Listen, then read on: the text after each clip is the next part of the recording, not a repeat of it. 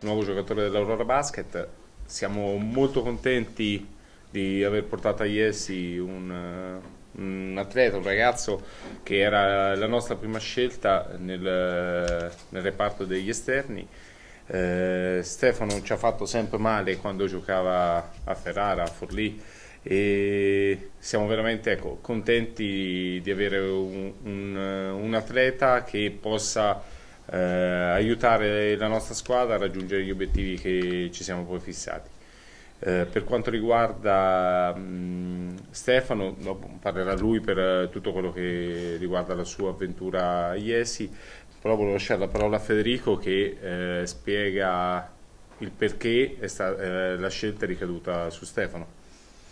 La scelta è ricaduta su Stefano perché con Piero, Damiano, insomma con tutto lo staff, quando si, si pensava a un progetto di squadra che ancora era tutto lo stato embrionale perché abbiamo praticamente quasi da subito pensato a un giocatore con le sue caratteristiche, quindi ci è venuto subito in mente lui, logicamente non era l'unico che faceva parte di questa di questa idea di squadra, però eh, Stefano era quello che,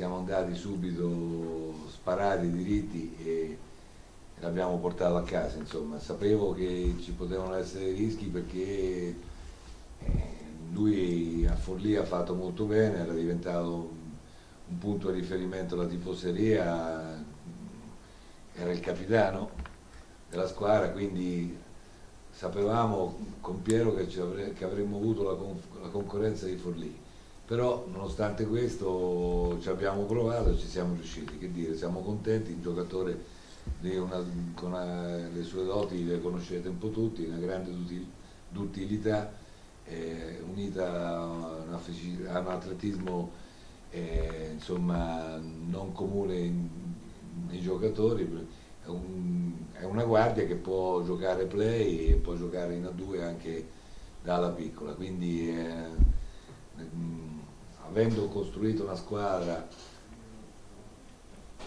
praticamente con, eh, con, giocatori che possono giocare in più ruoli, eh, diciamo che l'identikit dell'Aurora Basket l'anno prossimo sarà questa, insomma rispecchia un po' quella che è l'idea del, di Piero Cohen.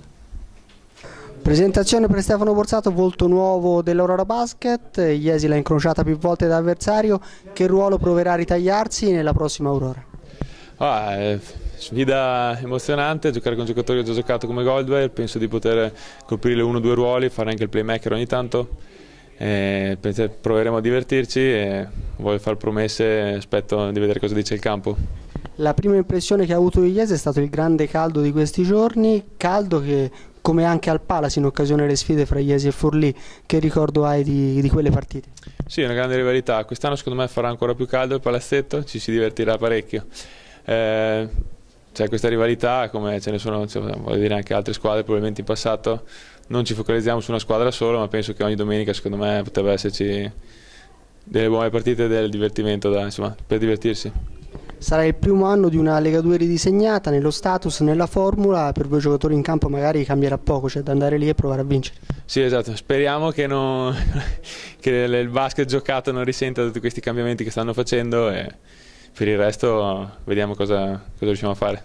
Gli avversari da tenere maggiormente d'occhio sulla carta hai dato un occhio a quelli che sono stati i movimenti di mercato? Sì, abbiamo Napoli, Barcellona e Torino che sono andate come favorite, però sappiamo benissimo che la carta è un conto, poi in campo è tutta un'altra cosa, quindi vedremo. Avrai insieme a te uno dei tuoi recenti compagni di squadra, Goldwire, trovi una coppia come Rock e Maggioli, che impressione ne hai? Eh, come dicevo prima è stato uno dei motivi per cui ho deciso di venire qui, sicuramente ci divertiremo con Goldwire, mi ricordo che è un super, un ragazzo super, ci si diverte proprio a giocare, ad allenarsi durante la settimana, gli altri due penso non abbiano bisogno di presentazioni, giocatori come Maggioli e Rocca, quindi dobbiamo solo iniziare, non vediamo l'ora. Ultimissima battuta, cosa ti ha chiesto coach Piero Cohen fino ad ora? Ah, ancora non abbiamo parlato, adesso faremo due parole e vedremo com'è la sua idea tecnica e quello che riguarda tutto il resto insomma, dal punto di vista umano.